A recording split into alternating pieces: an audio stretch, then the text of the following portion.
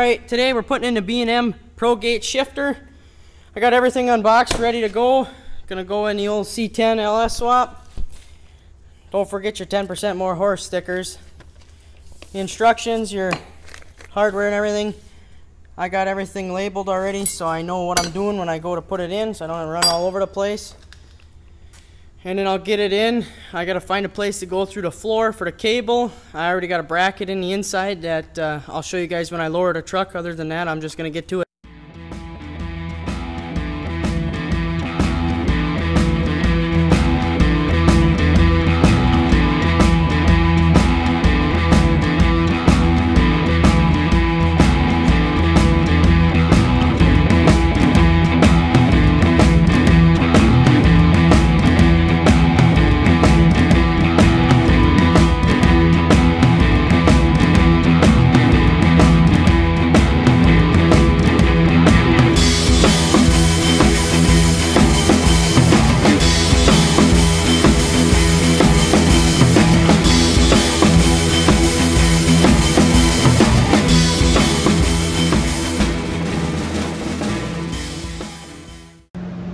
Okay, back on the top side here, I got my bracket where I want it, the shifter where I want it, and how I like it.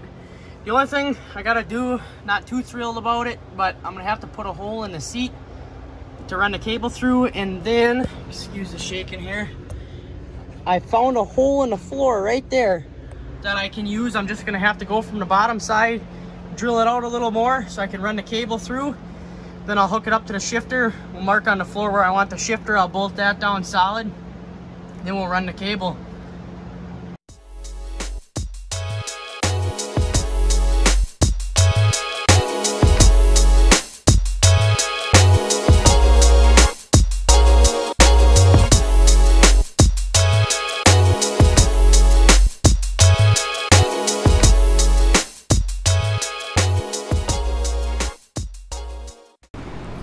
All right, so we drilled everything we ran the cable through the seat and had to drill out the hole in the floor. Um, so that's all in and good. Then over here I painted the bracket as well as I just got the bolts in there loosely now. Yes you do have to take it mostly apart to get to everything but I'm gonna bolt it up how I want it put everything back together then I'm gonna put it back in.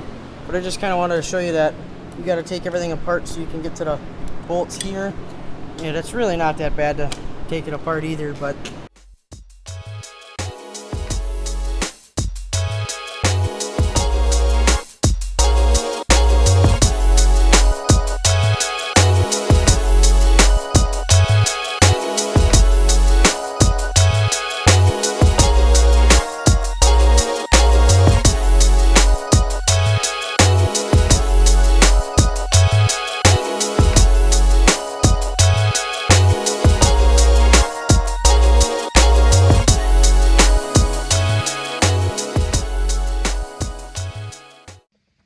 Alright guys, it's in, it's done.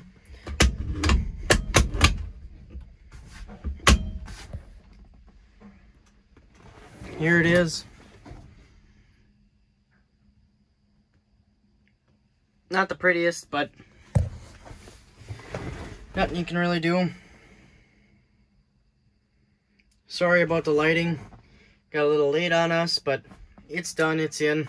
Works really good, I already tested it out. Really glad I put it in. If you all are wondering why I put this in versus, you know, having the automatic on the column, um, with these Turbo 350s having a governor in them, and the LS wanting to shift at 7,000 RPM, obviously a small block never turned 7,000 RPM, so it needed some kind of uh, way to be shifted at 7,000, and the only way to do that would be to shift it manually with, with the column. So now I can very easily shift it manually. Um, the problem with shifting it manually with the column is every once in a while you'd come up and you'd accidentally go into third and since it was so high of an RPM it'd go straight into third then you lose all your power. Um, I'm not saying I you know make 7,000 RPM pulls on the street all day long but it is nice to have in have a functional truck so that's why I put it in here. Well worth the money. I suggest getting it if you uh, need a ratchet shifter or a drag style shifter, I should say, not a ratchet shifter, for a Turbo 350 or Turbo 400. Very good. I'll leave the part numbers in the description. There you have it, installed shifter.